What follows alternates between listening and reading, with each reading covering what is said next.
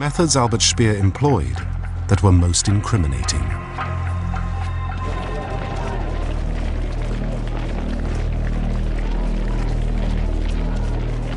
His most heinous crime, he had kept the German war machine working through the use of slave labor.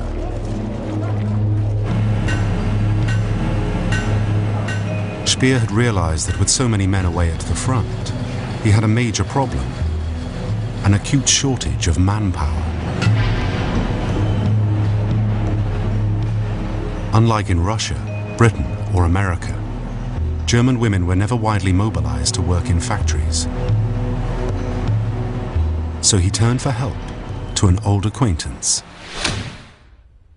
Fritz Sauckel, Germany's Minister of Labor.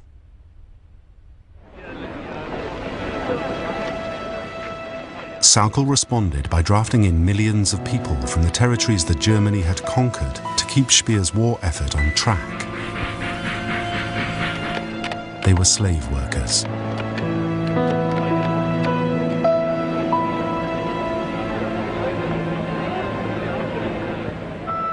Forced to live in squalid conditions, half-starved and worked to death. These laborers died in massive numbers, as Ted Misovich, a former internee, explains. Uh, it was exhausting, it was um, debilitating, and all the other things, you know, even denigrating and so on, poorly fed.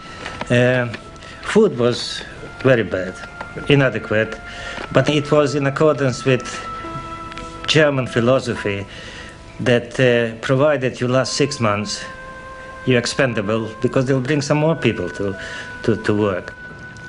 Eventually, you could see them walking, skeletons, just pure skeletons, you know.